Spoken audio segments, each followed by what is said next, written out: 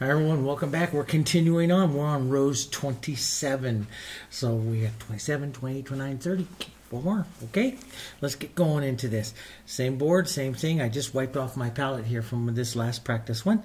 And Hansa yellow, yellow oxide, burnt sienna, naphthol red light, pine green, phthalo blue, um, red violet, quinacridone violet, and white. And I do show a lot of other things um, you know, a lot of other colors. We have 32 pure pigments into the line, and I show you a lot of those with other things.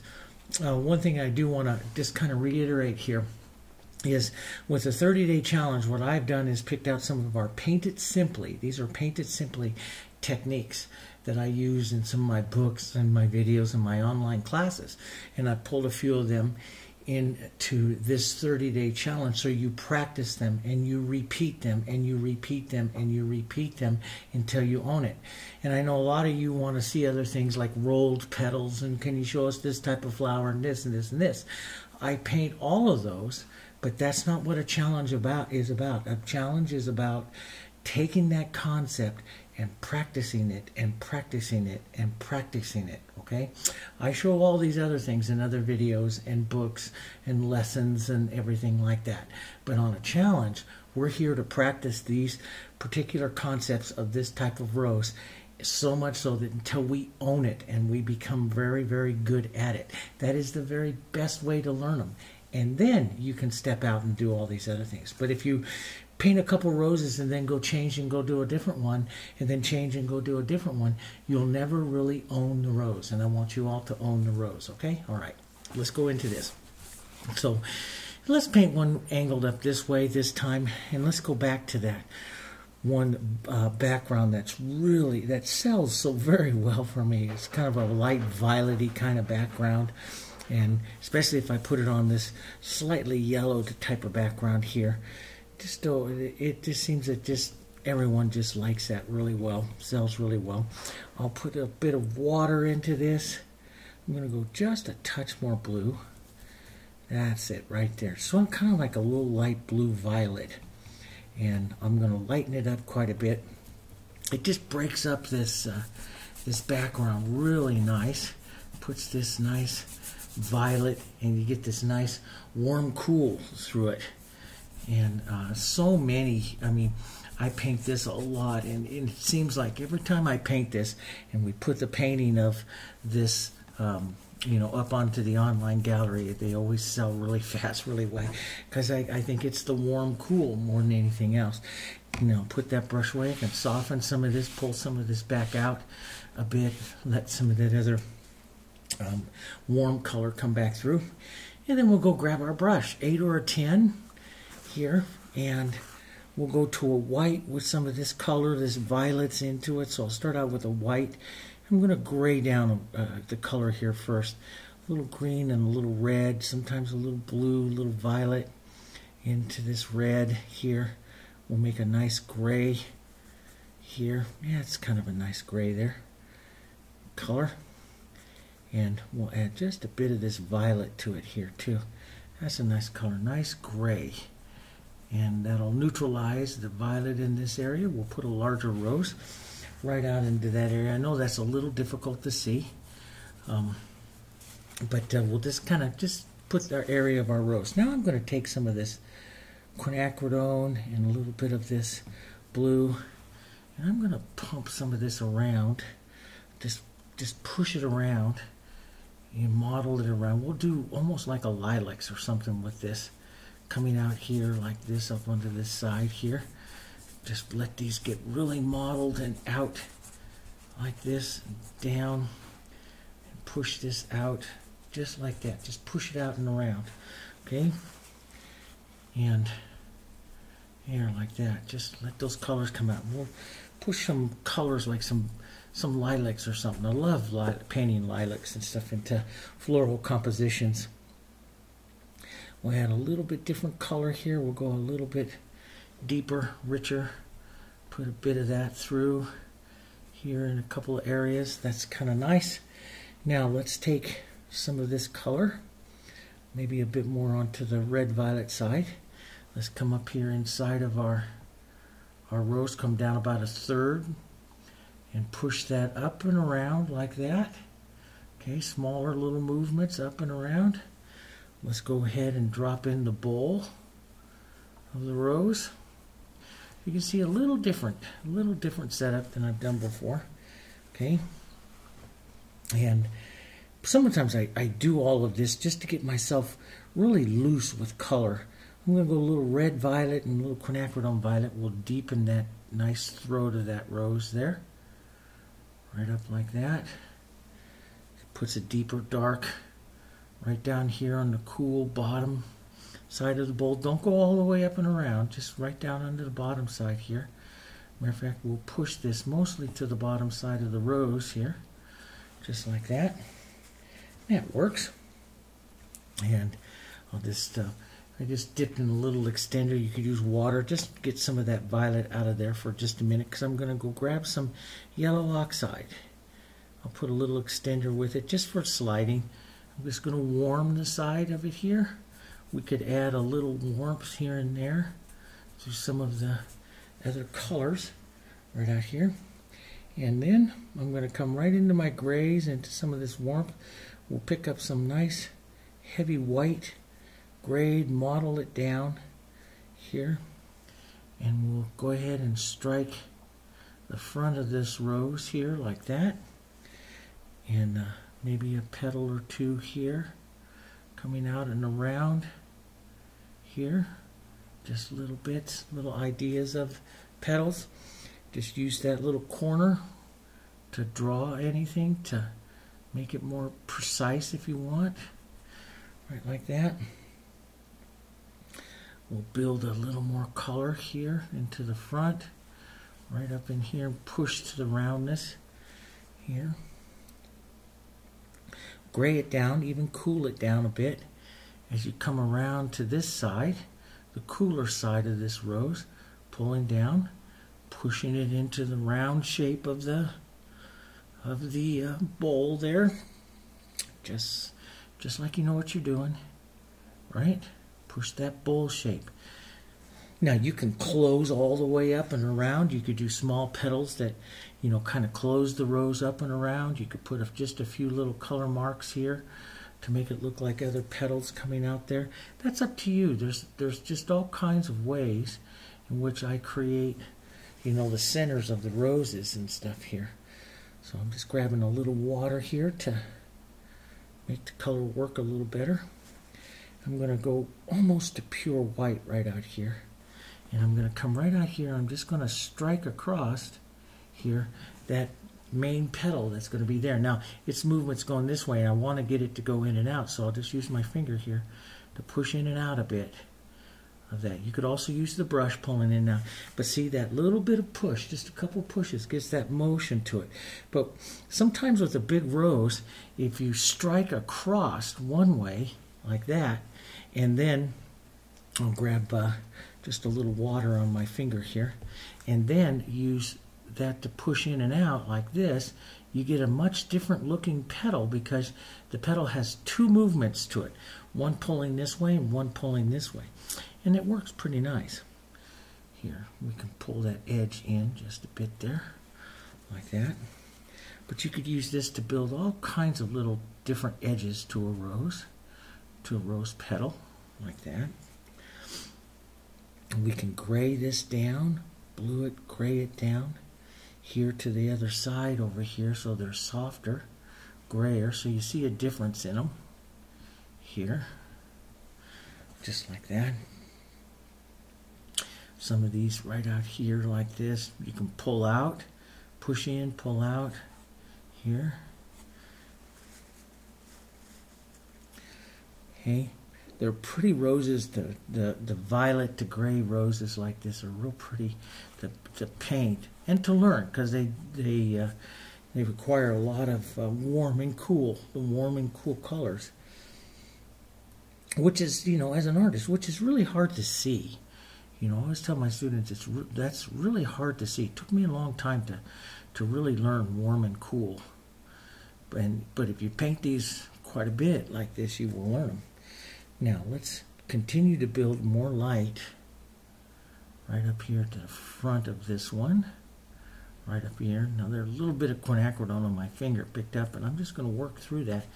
I'm not going to worry about it. I'm going to work through it, covering some of it up.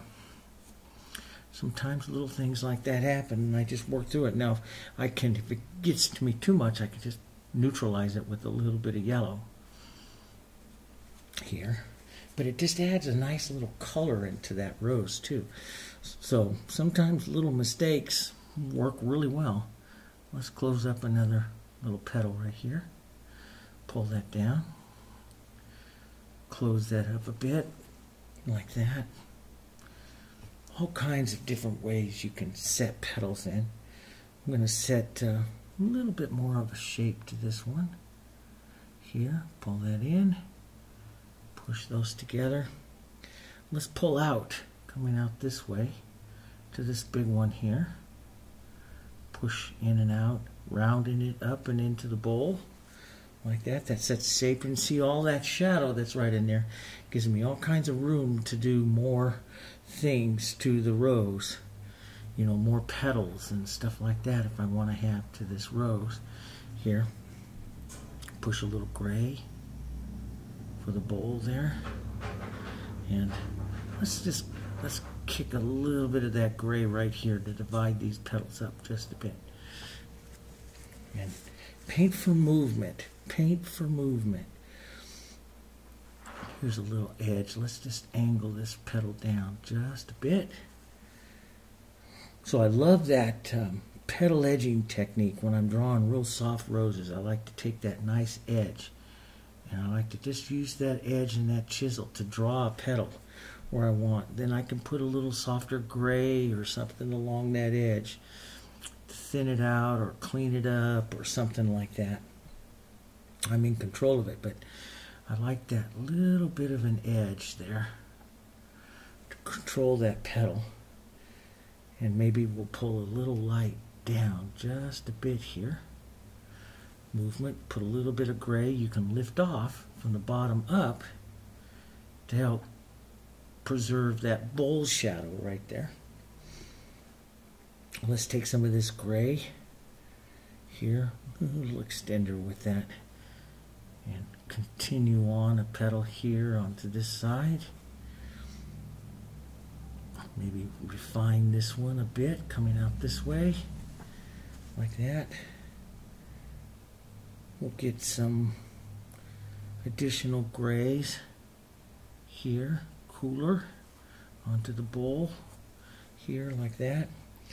Build up the front maybe a bit more white. That's what's coming at us towards us right here is that white.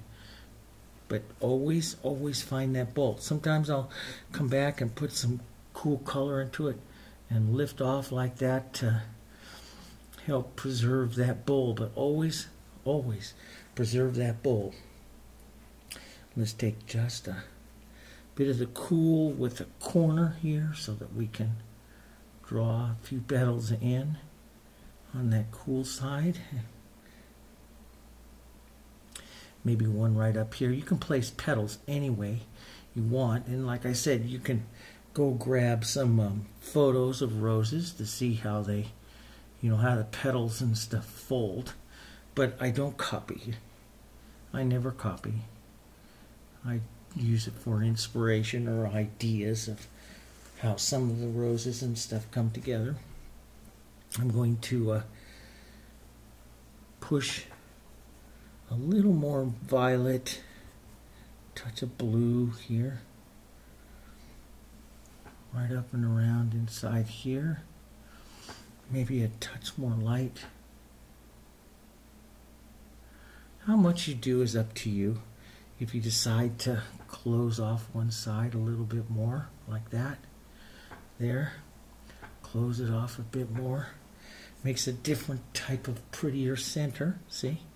Just close just start using remember that as you get into the center here they the petals start getting smaller and smaller and you can just start closing them out. Use that little tiny edge of the light to really kind of set petals or the edges of your petals here.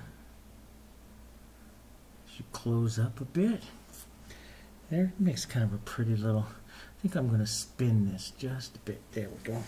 Take that one edge off. Let's build just a bit lighter right up here in the front. Maybe a bit more light right up here into the front. We'll preserve that bowl. Lift off just a bit. Preserve that, that shadowy petal there. Let's take just an edge of that light gray, nice little petal edging technique here and draw maybe another petal right in here. Right like that. Push that into the shadow or lift off with your brush, either way. It makes kind of a pretty rose. Maybe one more little light right down in here like this. Right down towards that bowl.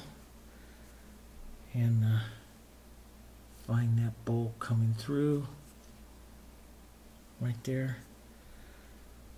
Lots of different ways, but just make sure that you see that bowl. That's the main important part of the rose is that bowl coming up and through. Let me just pull a little more light down on that. There we go. Makes kind of a pretty little rose. Different, kind of different shape to it. And uh, then we'll just take some of our violets. Here, blue violets and red violets. And we're just going to do a few little smaller petals here. I'll have some going to the blue violet side, some going to the red violet side here. As we just indicate a few little blossomy petals here. Sometimes I like those colors and I just go ahead and add those into like the rose right there. I'm always looking, even though I, when I start to make colors, I'm always looking back to my rose to see if something like that would enhance the rose as well. And I like that. Just a bit of that in there. And it carries the, the violet colors down into that rose as well. This rose, since I've been using the white so thick, it's so thick with paint, that you know if you get it too thick and if you don't let it dry up enough it gets a little difficult to paint because everything keeps keeps sliding on you. So if that starts to happen just let it tack up a little bit. That's why I like the acrylics. So let it tack up a little bit. You know if it's keep it too wet everything just disappears on you. And uh, gets harder to paint. Just put a little bit of light movement there. Just thick white like that. That's good. Now let's keep going with these guys here. A little bit more of our lights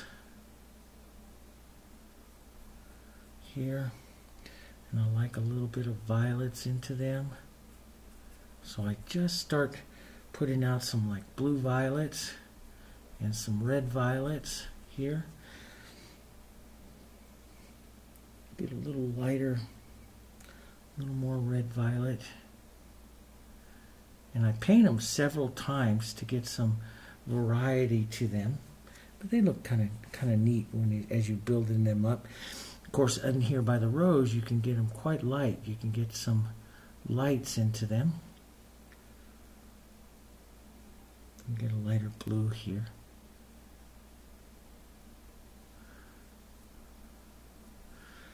And just model them up. Model some of these colors pick up some. So you just start to, you know, you just do the impressions back here, you know, down here. And then as we get up into the, the front of these, we'll get even lighter. So I'll build a lighter one right up here. Prettier little turned light one.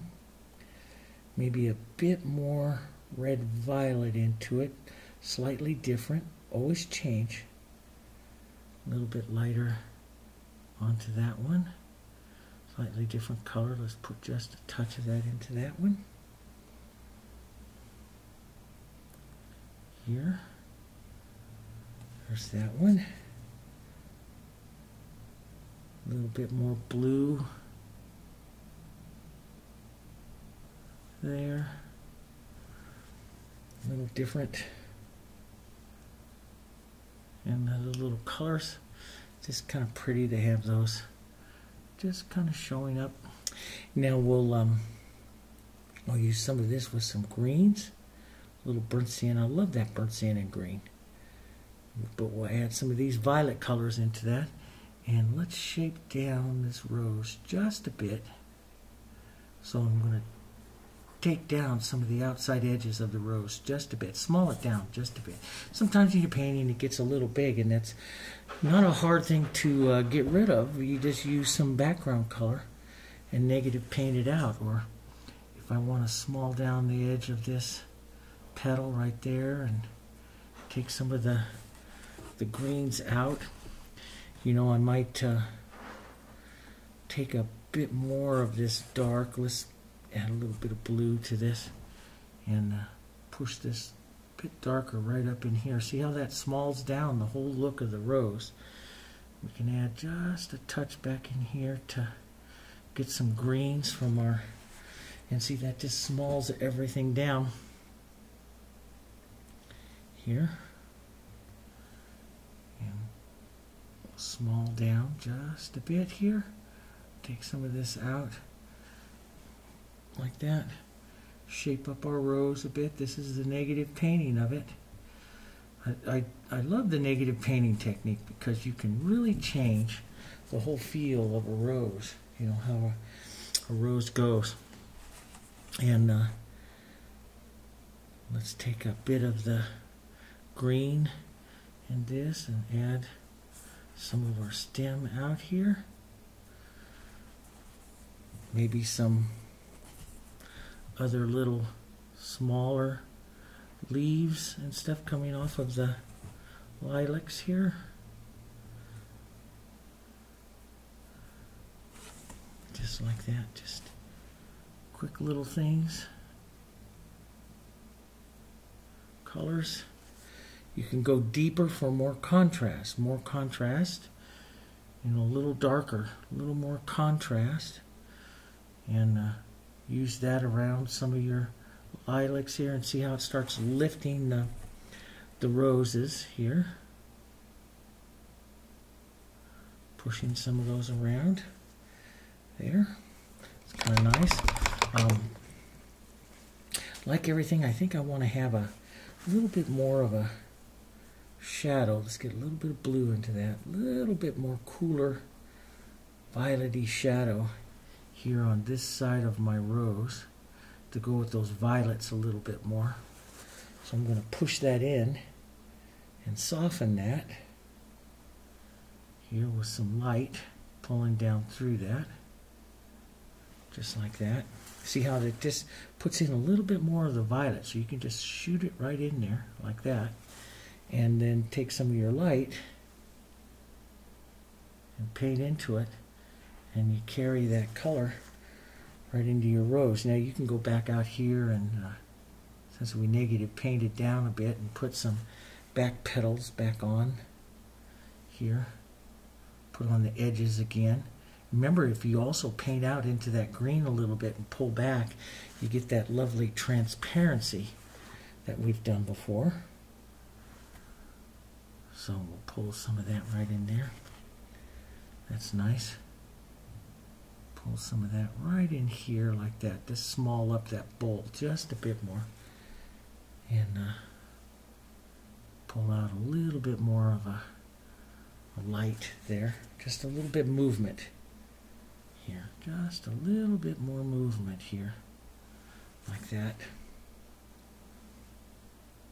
So sometimes you get these violets on and your your your idea of your rose changes just a bit. And um, let's combine with some of that light off of these violets and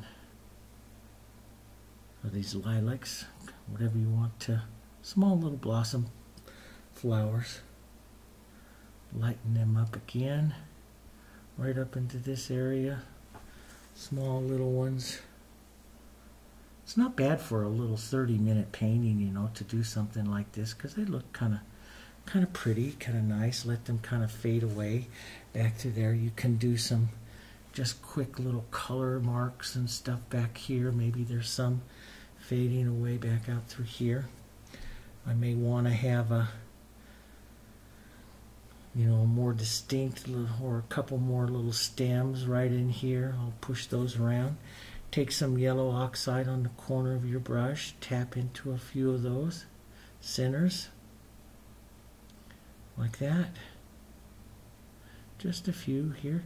Touch into a little Hansa onto the corner and tap into a little bit just to give a little bit of emotion uh, to those. You can sometimes I like a take like a little quinacridone and push a little touch of the quinacridone violet underneath them.